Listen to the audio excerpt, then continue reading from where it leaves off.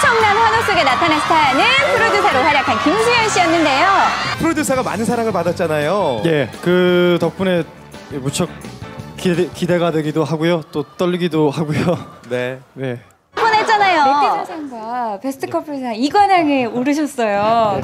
예, 베스트 커플상이 예, 남남이 됐어요. 예, 자, 차태현 선배님하고 예, 아주 남달랐습니다.